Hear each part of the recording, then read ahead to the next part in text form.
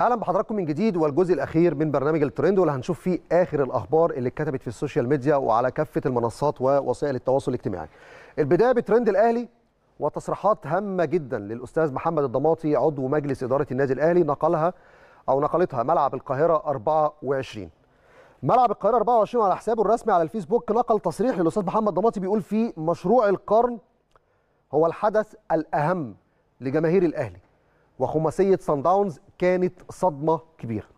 في تفاصيل التصريحات يمكن الأستاذ محمد الضماطي اتكلم على مشروع القرن وقال كل الأمور مؤجلة للإعلان عن التفاصيل في المؤتمر مساء اليوم الثلاثاء. والملف مش صغير على فكرة الملف كبير جدا. وفي تفاصيل كتير هيتم العرض وهيتم الشرح وهيتم الإعلان عنها خلال وقائع المؤتمر الصحفي. وحتى واحد من عشر تفاصيل ممكن تعلن في هذا الأمر. الاستاد مثلا أستاذ محمد الضماطي وصف الموضوع في قصة الاستاد إنه بمثابه الحلم للجماهير الحمراء. وهو كان واحد قبل ما يدخل مجلس إدارة النادي الأهلي كان واحد من مشجعي النادي الأهلي وكان بيسافر دايما ورا فريق الكورة في كل المباريات وكان متواجد دايما في الدرجة الثالثة. هو قال ده قبل كده في كذا مناسبة وأنا حتى في مرة كنت بتكلم معاه قال من أهم الحاجات اللي إحنا بنحلم بيها كأهلاوية سواء إحنا على في منصب رسمي أو حتى بنشجع من بره إن يكون عندنا استاد زي كل الفرق الكبيرة العالمية. هو طبعا مش كل الفرق في العالم عندها استادات ولكن في فرق وفي أندية ليها خصوصية. لو بتتكلم على الريال بتتكلم على برشلونة بتتكلم على مان يونايتد بتتكلم على السيتي في فرق معينة كده على مستوى العالم. نفسي أو نفسنا في مصر يكون عندنا حاجة زي دي بتبقى خاصة بالنادي الأهلي. وأعتقد يعني مشروع فيه شغل استثماري كبير جدا هيبقى فيه مكسب للجميع وإن شاء الله بإذن الله نسمع كل التفاصيل النهارده بإذن الله. طيب حساب بطولات بيقولوا مصدر بالاهلي البطولات توقيع غرامة مالية على محمد مجدي قفشة مليون جنيه بعد تصريحاته الأخيرة. دي تصريحات نازلة أو ده خبر نازل على موقع بطولات حتى الآن طالما مفيش خبر رسمي موجود على الموقع الرسمي ولم يعلنوا الكابتن خالد بيبو هقدر أقول لحضراتكم إن الغرامة المالية والكلام ده عبارة عن اجتهادات إلى أن يعلن النادي الأهلي حقيقة هذه التفاصيل اللي ظهرت النهارده.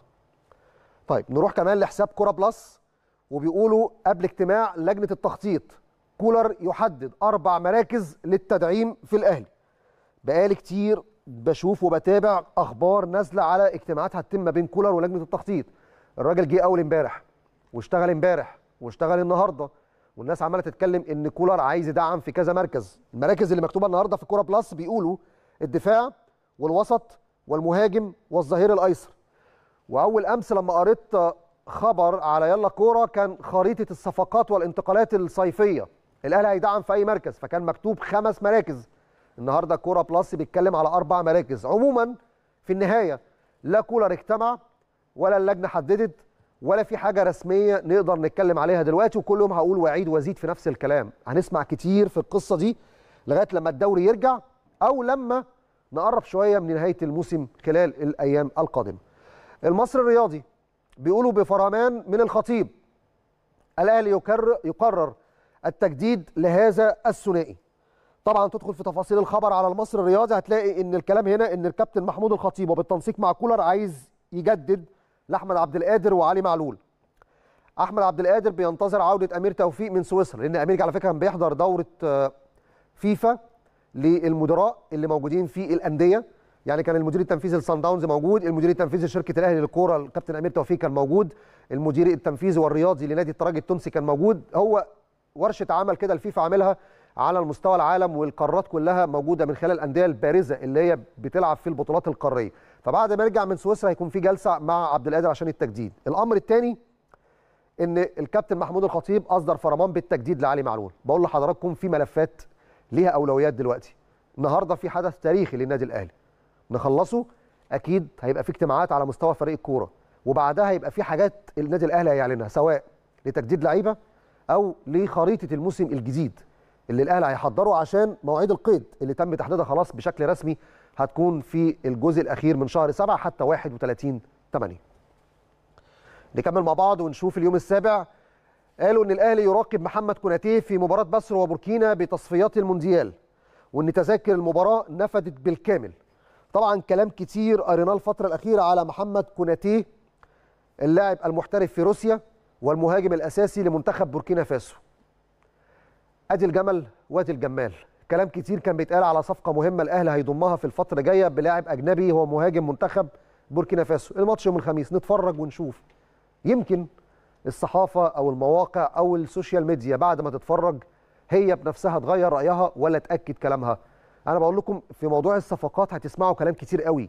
ولكن الحمد لله أحد الأسماء اللي اتطرحت بشكل كبير هتلعب في استاد القاهرة في تصفيات المونديال ما بين مصر وبوركينا فاسو.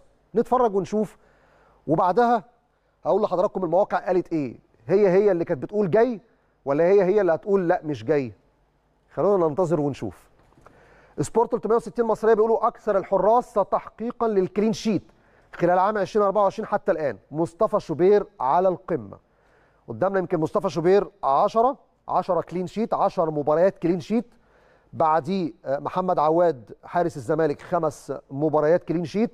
بعديه المهدي سليمان حارس مرمى الاتحاد السكندري أربعة clean sheet ثم بعديه أحمد الشناوي حارس بيراميدز أربعة clean sheet أنا شايف رقم مصطفى شوبير أفضل من جانب تاني كمان.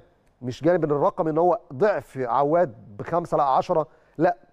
مصطفى شوبير ما يلعبش من أول الموسم. مصطفى شوبير لعب بشكل رسمي وخد مباريات رسمية وبقى في التشكيلة الأساسية بعد منافسات كأس الأمم بعد إصابة الشناوي. فإحنا بنتكلم العشرة دول في المرحلة الزمنية. ما بين فبراير حتى نهاية مايو في ثلاث شهور. في كلين شيت للاعيبه أو حراس آخرين سواء عواد أو الشناوي أو أحمد الشناوي ومهدي سليمان. الحراس دول بيلعبوا من بداية الموسم من شهر 9 اللي فات. فأنا شايف رقم مصطفى لا يعني قد الأرقام الثانية 100 مرة وليها معايير أفضل كتير لصالح مصطفى شوبير ونتمنى يا رب يستمر على هذا الأداء. حساب الاتحاد الإفريقي دوري الأبطال وكأس الكونفدرالية. قالوا أفضل لاعب داخل القارة في 2023 طبعا بعد الجائزه اللي منحها الكاف في المغرب لبيرسي تاو. فالنهاردة بيتكلموا على ان هو أفضل لاعب في القارة في خلال العام المنقضي وجايبين صور ليه وهو بيحتفل باللقب الثالث ليه في دوري أبطال إفريقيا. خدوا بالكم بيرسي تاو واخد دوري أبطال إفريقيا ثلاث مرات. مرة مع سان داونز 2016 على حساب الزمالك ومرتين مع الأهلي.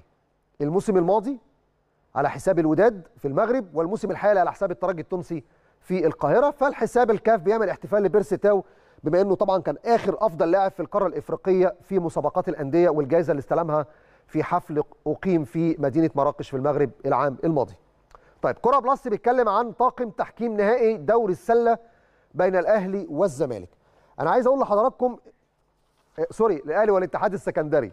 إحنا طبعا متعودين على مباراه الاهلي والزمالك كتير ولكن في ال basket الاتحاد السكندري أكيد عامل مستوى كبير جدا. لكن ال final أو نهائي دوري السلة بين الأهلي والاتحاد السكندري. طبعا هو ال best of five هيبقى فيه خمس مباريات عشان اللي يكسب ثلاث لقاءات يتوج ببطولة دوري المحترفين في كرة السلة. اولا الثلاث مباريات الأولانيين يوم 7 6 يوم 9 6 يوم 11 6 دول أول ميعاد لثلاث مباريات بالترتيب. طبعا لو الفرقة كسبت الثلاث مباريات خلاص هو يتوج بطل للدوري. طب لو حصل تعادل في 13 6 14 6 الجولة الرابعة والخامسة يعني مثلا 7 6 الأهلي كسب 9 6 الاتحاد كسب 11 6 الأهلي كسب يبقى لسه في جولتين. لو 13 6 الأهلي كسب يبقى 3 1 خلاص خد الدوري. لو حصل تعادل والاتحاد كسب يبقى الماتش الفاصل هيكون يوم 14 6 طب البطولة هتتلعب فين؟ الاتحاد السكندري كان طلب من الاتحاد السلة الاتحاد المصري إن الماتش أو الماتشات تتلعب في صالة استاد القاهرة. فاكرين طبعا الحدث المؤسف اللي حصل في صالة دكتور حسن مصطفى من حوالي سنتين وعلى أثر هذا الحادث توفى مشجع من نادي الاتحاد السكندري. فكان الاتحاد ليه طلب إن البطولة تتنقل لاستاد القاهرة. النادي الاهلي على فكرة اتخذ رأيه ووافق جدا ما عندوش أي مشاكل. وإحنا شايفين العلاقات الجيدة اللي ما بين اداره الاهلي والاتحاد السكندري. كان في تنسيق كبير ما بين الكابتن محمود الخطيب والأستاذ محمد مصلحي رئيس نادي الاتحاد وعلى هذا الأساس اتحاد ال basket نقل الماتشات كلها تتلعب في استاد القاهرة ابتداء من يوم 7 6 طاقم التحكيم هيكون أجنبي وهيكون من بورتوريكي روبرتو فاسكويز ومعاه حكم من لاتفيا مارتينيز كولوفسكي ومواطنه أيضا جاتيس سالنز دول هيكونوا موجودين لإدارة نهائي دوري السوبر السلة بين الأهلي والاتحاد السكندري. الاتحاد طلب تحكيم أجنبي والأهلي طلب تحكيم أجنبي واتحاد ال basket ما كانش عنده مشاكل فأسند المباريات لتحكيم أجنبي بالإضافة للمباريات اللي هتتلعب في استاد القاهرة. نتمنى التوفيق يا رب للنادي الأهلي لتحقيق هذا الإنجاز الكبير استكمالا للإنجازات التاريخية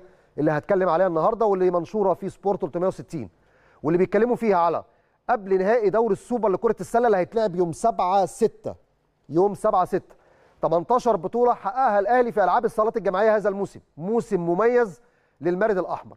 رجال الطايرة حققوا أربع بطولات. سيدات الطايرة حققوا ثلاث بطولات رجال اليد عملوا الرباعية سيدات اليد حققوا الثنائية رجال السلة عملوا بطولتين سيدات السلة ثلاث بطولات 18 بطولة وفي انتظار ال 19 بإذن الله بعد مباريات الأهلي والاتحاد السكندري في صالة استاد القاهرة. طيب نروح للترند المحلي. والخبر المتعلق باليوم السابع إن طاقم حكام مباراة مصر وبوركينا الطاقم الكيني هيصل اليوم إلى القاهرة. ده الطاقم المتعلق بالمباريات التصفيات كأس العالم. نروح لحاجة تانية في الترند المحلي حساب بطولات على الفيسبوك تصريح لرامي ربيعة قبل مباراة بوركينا في منافسات تصفيات كأس العالم. قال الأهلي والزمالك حصدا بطولتي دوري الأبطال والكونفدرالية. وهذا دافع للاعبين وإن شاء الله ندافع عن اسم مصر. نتمنى بالتأكيد تواجد الجماهير يدعمونا في مباراة مصر وبوركينا. ودي رساله بنوجهها لكل جماهير مصر. احضروا مباراة مصر وبوركينا يوم الخميس في استاد القاهرة الساعة 10 بالليل. دعوة عامة لكل الجماهير المصرية لحضور المباراة. طب نروح بقى للسؤال اللي طرحناه في بداية الحلقة توقعاتكم لتشكيل مصر أمام بوركينا؟ سريعا. عبد الله بيقول شوبير هاني منعم رامي عمر كمال حمدي فتحي إمام عاشور زيزو صلاح مصطفى محمد محمود حسن تريزيجيه. حمادة بيقول شوبير هاني ربيعة منعم عمر كمال مروان إمام زيزو تريزيجيه صلاح مصطفى محمد. يعني في استقرار على الحارس والدفاع. محمود أيضا بيأكد نفس الكلام. شوبير هاني ربيعه منعم. عمر كمال مروان إمام زيزو تريزيجيه صلاح مصطفى محمد. محمد رمضان بيقول مساء الخير. شوبير هاني ربيعه منعم عمر كمال. ده يا جماعة الناس كلها ما بتغيرش لعيب في حارس المرمى وخط الدفاع. مروان إمام زيزو تريزيجيه صلاح مصطفى محمد. نفس التشكيلة. طيب أحمد عباس بيقول أنا من السودان ومتابع جيد لبرنامجك وبرنامج ملك وكتابة وبرنامج السادسة والمحترف للكابتن هاني رمزي. سعداء بالتأكيد بمتابعتك. أتوقع الشناوي محمد هاني منعم ربيع عمر كمال مروان أكرم توفيق إمام عاشور صلاح وتريزيجيه ومصطفى محمد. تحية ليك ولجمهور الأهلي العظيم السوداني محب للأهلي وأشجع المريخ السوداني. إحنا سعداء بيك يا أستاذ أحمد وسعداء بكل الأشقاء في السودان. على حرصهم على متابعة برنامج الترند ومتابعة كل برامج قناة النادي الأهلي. في الختام بشكر حضراتكم على حسن المتابعة والمشاهدة وغدا لقاء جديد وحلقة جديدة من برنامج الترند. شكرا وإلى اللقاء.